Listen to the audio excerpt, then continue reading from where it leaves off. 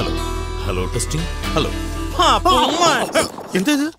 ഇതൊക്കെ വർക്ക് ചെയ്യുന്നുണ്ടോ നോക്കണ്ടേ. അതിനുവേണ്ടി പറഞ്ഞാണ്. എന്താ അസുഖം? പൈസക്ക് മുട്ടൊന്നുമില്ലല്ലോ? എന്നാ നോക്കാം. അടുത്തിരിക്കൂ. ശ്വാസം ഉള്ളിലേക്ക് വലിക്കൂ. പുറത്തേക്ക് വരൂ. നന്നായി ഉള്ളിലേക്ക് വലിക്കൂ. Hello doctor Christy Joban speaking പ്രോഗ്രാമിനാണോ അസുഖമാണോ? പ്രോഗ്രാമാണ്. ഉം, പറയൂ പറയൂ എവിടെയാണ്? ആറ്റിങ്ങൽ. ആ ആ ഏ? പുതിയ ഐറ്റം ഉണ്ടോന്നോ എന്ത് ചോദ്യമാണ് ദേ കേട്ടോളൂ. നമ്മൾ തിയേറ്ററിൽ പോകുമ്പോൾ പരസ്യത്തിന്റെ ശബ്ദം കേൾക്കാറില്ലേ? അത് ഞാൻ പറഞ്ഞു ശ്വാസകോശം സ്പോഞ്ച് പോലെയാണ് ശ്വാസം ഉള്ളിലേക്ക് വലിച്ചു കയറ്റുവാൻ രൂപപ്പെടുത്തിയത്. ചിലർ അതിനെ സിഗരറ്റ് വലിക്കുവാൻ ഉപയോഗിക്കുന്നു. എങ്ങനെയുണ്ട് എങ്ങനെയുണ്ട്? അതാ അതാ ഞാൻ പറഞ്ഞത്. ശരി ശരി. അഡ്വാൻസ് ആയിട്ട് വന്നോളൂ. ഓക്കെ എന്താണ്? ഹലോ? ശ്വാസം വിട് ശ്വാസം വിടോ എന്താ അബദ്ധം ചേട്ടാ കാണിച്ചത്? എന്താ? വലിച്ചു പിടിക്കാൻ പറഞ്ഞു ശ്വാസം പുറത്തേക്ക് വിട്ടുകൂടായിരുന്നോ? പറഞ്ഞില്ലാലോ? ഓ എന്റെ ദൈവമേ ഇനി കൂടുതൽ വിടേണ്ടി വരില്ലായിരുന്നു. ശ്വാസം ഉള്ളിലേക്ക് വലിക്കും. വിടൂ. ദൈവമേ ഉള്ളിലുള്ളതെല്ലാം അടിച്ചു പോയി ഒന്നും കേൾക്കുന്നില്ലല്ലോ. ആ.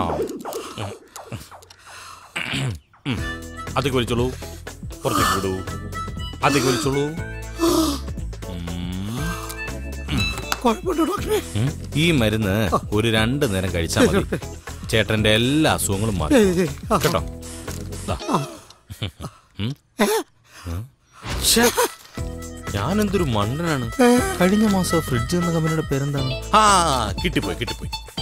ഈ മരുന്ന് ഒരു ആറോ ഏഴോ പ്രാവശ്യം കഴിച്ചു. എല്ലാ അസുഖങ്ങളും മാറിക്കോളും. ഇത് കഴിച്ചിട്ട് മാറിയില്ലെങ്കിൽ നമുക്കൊന്ന് എൻഡോസ്കോപ്പി ചെയ്യുന്നു എങ്ങനെ? ബെസ്റ്റ് അല്ലേ എൻഡോസ്കോപ്പിയോ? സുഹൃത്തെ ഡോക്ടറെ കാണാൻ ടോക്കൺ എടുക്കണോ? ഇവിടെ ടോക്കൺ ഒന്നും വേണ്ട. മുൻകൂട്ടി ബുക്കിംഗും വേണ്ട.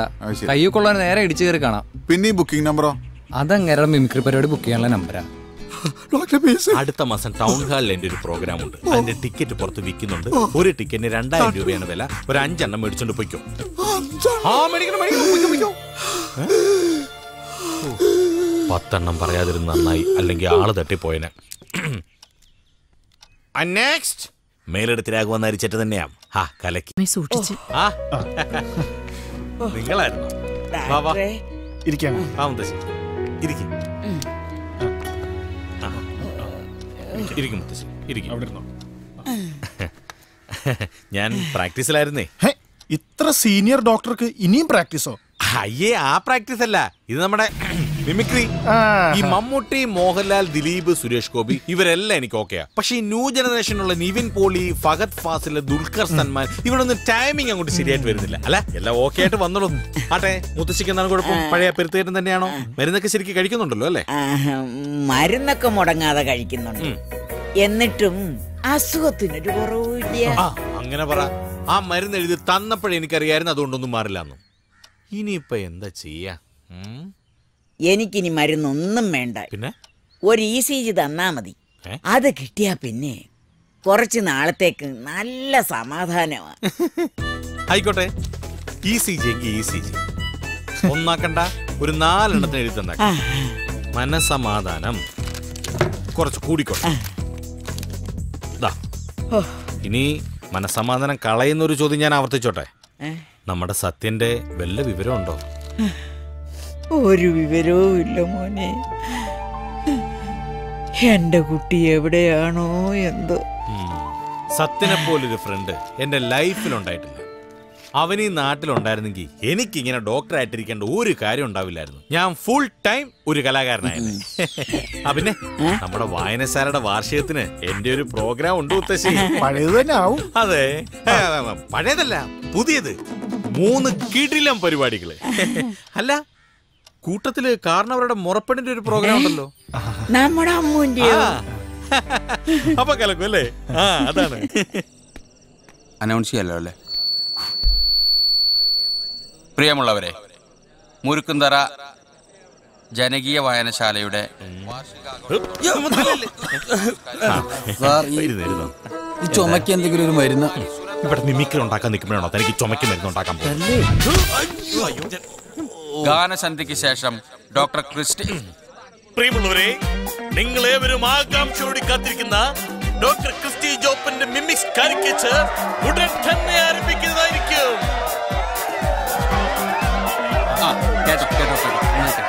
നിങ്ങൾക്കൊരു സന്തോഷ വാർത്ത. ഡോക്ടർ ക്രിസ്റ്റി ജോപ്പിന്റെ മിമിസ് കാരിക്കേച്ചർ കൂവാതിരുന്ന് കാണുന്നവർക്ക് അടുത്ത ഒരു മാസം നിങ്ങളുടെ ചികിത്സ ക്ലിനിക്കിൽ ഫ്രീ ആയിരിക്കും.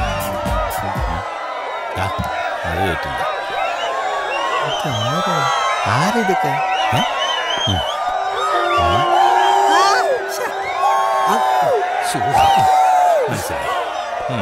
ഇത് മറ്റവന്റെ ആൾക്കാരാണ് ആരുടെ? കോട്ടയം നസറിന്റെ. മിമിക്രിയിൽ അവൻ എന്നെ മാത്രമല്ലേ പേടിയുള്ളൂ. അതുകൊണ്ട് കാശ് കൊടുത്ത് ആളെ ഇറക്കിയിട്ട് എന്നെ കൂവി തോപ്പിക്കാനുള്ള പരിപാടിയാ. പക്ഷെ ഞാൻ തോക്കില്ല. ഡോക്ടറെ ജനവികാരത്തെ പൈസ കൊണ്ട് അളക്കല്ലേ? താ പോടൂ പ്രിയമുള്ളവരെ ഗാനസന്ധ്യ ആരംഭിക്കുന്നു. സൈലന്റ് ആയല്ലോ. ഈ പ്രോഗ്രാം നിങ്ങൾക്കായി സ്പോൺസർ ചെയ്തിരിക്കുന്നത് ഡോക്ടർ ക്രിസ്റ്റി ജോപ്പൻ ക്ലിനിക് ഒരു ഇല്ല ഇല്ല ഇല്ല ഇല്ല ഇല്ല ഇല്ല. ദയവ് ചെയ്ത് ആരും കൂവരുത്. ഇത് സാധാരണ നിങ്ങൾ കണ്ടിട്ടുള്ള പോലെ ജയനല്ല. ഇത് ന്യൂ ജനറേഷൻ ജയനാണ്. തട്ടത്തും മറയത്തെന്ന ചിത്രത്തിലെ നിവിൻ പോളി അവതരിപ്പിച്ച കഥാപാത്രമായി ശ്രീ ജയം വരുന്നു. ഇങ്ങനെ കിടന്ന് കൂവിട്ട് തൊണ്ടടിച്ച് ക്ലിനിക്കിലോട്ടൊന്നും ഞാൻ വരുന്ന തരത്തില്ല കേട്ടോ. ഒന്നും മിണ്ടാതിരിക്കും.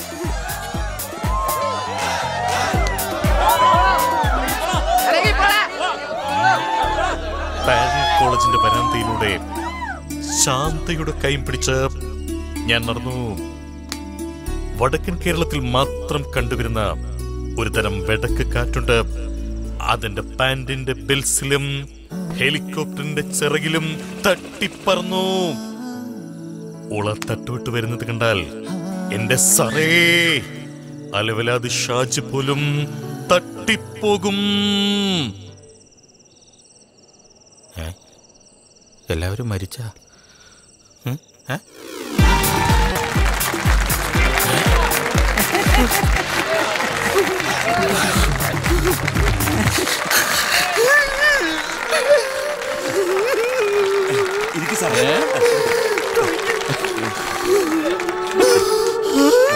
എന്തിനാ ഡോക്ടറെ കരയുന്നേ?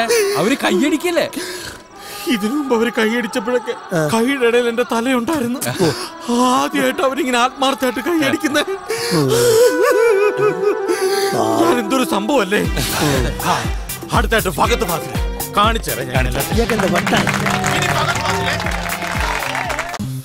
നമ്മുടെ കാലത്തൊക്കെ ഈ മെട്രോ റെയിലൊക്കെ ആയിരുന്നു യാത്ര ചെയ്യാൻ പറ്റുമോ? ആ ആ, വാ വാ വാ. ഇരിക്കേ. അല്ല കാരണവരുടെ അമ്മൂന്റെ കൂടെ പോരാഞ്ഞ് അതിനുള്ള ബോധമൊന്നും ഇല്ലല്ലേ? ബോധമല്ല വാദം മഞ്ഞ ഗുളിയ. എന്താന്ന്? ഒരു മഞ്ഞ ഗുളിയ മതിയല്ലോ എല്ലാം കുളവാക്കാൻ? വല്ല മനസ്സിലായ? ആ പിന്നെ? കൃഷി ഓഫീസർ മാറി പുതിയ ആൾ വന്നോ? അത് വന്നോളൂ. കാരണം ഒരാദ്യം ഇത് പറ. എന്താണ് ഇനി പ്ലാൻ ആ തെങ്ങുകളുടെ കടയൊന്ന് മാന്തണം. മാന്തണം. നെല്ലിന്റെ കള പറിക്കണം. പിന്നെ കൃഷി ഓഫീസിൽ നിന്ന് വളവും വാങ്ങണം. അതെ ഈ അമ്മൂന്റെ കാര്യത്തിൽ എന്ത് വളരാനാണ് ഉദ്ദേശിക്കുന്നത് എന്ത്? കോളേജിൽ അവൾ പഠിക്കുന്നത് കണ്ടൽക്കാട് പോലെ മുടി വളർത്തിയ യോയോ പിള്ളേരുടെ കൂടെ. ഒരു ഊന്നുകാൽ കൊടുത്ത് കെട്ടിയില്ലെങ്കിലേ വാഴ അങ്ങോട്ട് മറയും അമ്മുന്റെ കാര്യത്തിൽ എനിക്കൊരു പേടി അനുഭവങ്ങളാണ് മോനെ ഞങ്ങളെ കൊണ്ട് ഇതൊക്കെ പറയിക്കുന്നത്. ദാ, ഈ ഇരിക്കുന്ന പ്രഭാകരന്റെ കഥ അറിയോ? വരൂ. മധുരം ഇഷ്ടം മനസ്സിനുള്ളിൽ വെക്കാനുള്ളതല്ല. അത് തുറന്നു പറയാം. ഇതുപോലെ വിഡ്ഢിവേഷം കെട്ടിയ പ്രഭാകരന്മാർ ഇനിയും ഈ മുരുക്കുന്നര ഗ്രാമത്തിൽ ഉണ്ടാവാൻ നിശാഗന്ധി പൂവല്ലോ.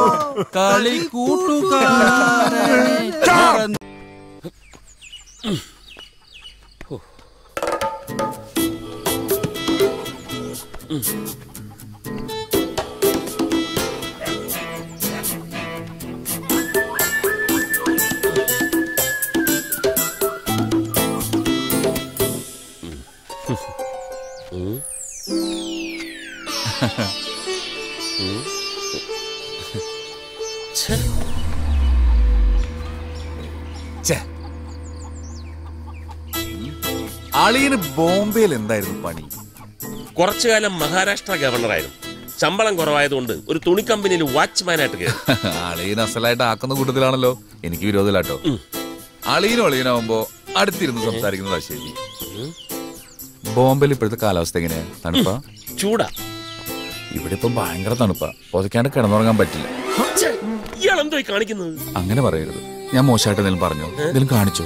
എനിക്കൊന്ന് കണ്ടാ മതി. അയ്യേ ഇയാൾ ഇത്രക്ക് പോകാനാണോ ദേ ഇയാളെന്റെ പെങ്ങടെ കെട്ടിയവനായി പോയി. അല്ലെങ്കിൽ താനീ കാണിച്ച തോന്നിവാസം തന്നെ മുഖത്ത് അടി തരണ്ടതാ ബോംബെയിൽ കുറെ പോലെ. മനസ്സിലായി. ഞാൻ മുമ്പുള്ള സംഗതി എവിടെ ഉണ്ടോ നോക്കാൻ വേണ്ടിട്ടാ. താൻ പോണോ? ഛേ. ഇങ്ങനെയുണ്ടോ അളിയന്മാര്? നന്ദിനി ഇങ്ങോട്ട് വന്നേ. എത്രയും പെട്ടെന്ന് നിന്റെ കെട്ടിയോനെ വിളിച്ചോണ്ട് പൊക്കോണം. എന്താ സദ്യടാ? അയാൾക്ക് അതൊന്നും പുറത്തു പറയാൻ കൊള്ളൂല. മനുഷ്യൻ എങ്ങനെ ഇവിടെ മനസമാനത്തോടെ കിടന്ന് ഉറങ്ങാൻ പറ്റും? ഈ കണ്ട കാലം അന്യനാട്ടിൽ കിടന്നെങ്കിലും ഒരു ചീത്തപ്പേര് ഞാൻ കേൾപ്പിച്ചിട്ടില്ല. സംഗതി കാണണം പോലും സംഗതി. വൃത്തിയാട്ടവനാ ആ. മുട്ടുവരെ പൊക്കാനേ പറ്റുള്ളൂ. അല്ലെങ്കിലും നിങ്ങളെ കൊണ്ട് അത്രയ്ക്ക് പറ്റൂ. ഒരടയാളം പോലും കണ്ടുപിടിക്കാൻ പറ്റാത്ത മനുഷ്യൻ. നീ നോക്കിക്കോടി. അടുത്ത തവണ ഞാൻ പൊക്കും. എന്റെ പ്രിയപ്പെട്ട ആരാധന കുസുമമേ. എന്റെ കാരണവരെന്ന ഞാൻ കഴിഞ്ഞ കുറെ ദിവസങ്ങളായി അനുകൂലമായ ഒരു മറുപടി തന്നു എനിക്ക് കൃഷി ഓഫീസിൽ പോയി ലിസ്റ്റ് പ്രകാരമുള്ള സാധനം വാങ്ങാനുള്ള. അതെ അതെ. നിന്റെ അനാവൃത കുസുമതാണ്. അതെ ഇത് ഐശ്വര്യമായിട്ട് അവളെ കൈ കൊണ്ടേ കൊടുക്കുക നെല്ല പിന്നിൽ ഞങ്ങളുണ്ട്. ചെല്ല് ചെല്ല്. ഞങ്ങൾ ധൈര്യമായിട്ട് ചെല്ല്. വേഗം ചെല്ല്.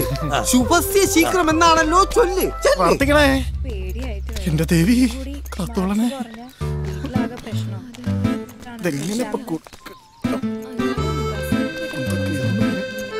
ഇങ്ങനെ തന്നെ ആയിരിക്കും പിന്നെ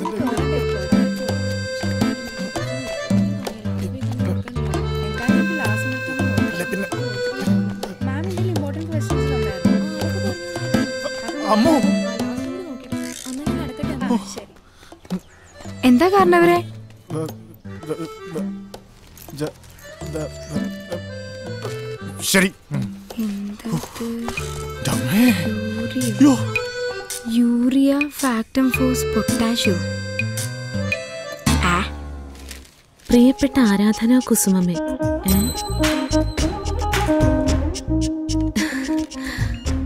കാരണവരെന്ന ഞാൻ കഴിഞ്ഞ കുറേ നാളുകളായി നിന്നോടുള്ള പ്രണയ പാരവശ്യത്തിലാണ്. ഈ മഴ പെയ്യുന്നതിനോട് കൂടി ഉഴുത് നല്ല വിത്തിറക്കിയാലുണ്ടല്ലോ. എനിക്ക് മാത്രമല്ല കൃഷി ഓഫീസർക്കും എന്റെ ഗുണം ഉണ്ടാവേ അപ്പൊ ഞാനങ്ങോട്ട് ആ ഞാൻ പ്രതീക്ഷിക്കും എന്നെ നിരാശപ്പെടുത്തരുത്.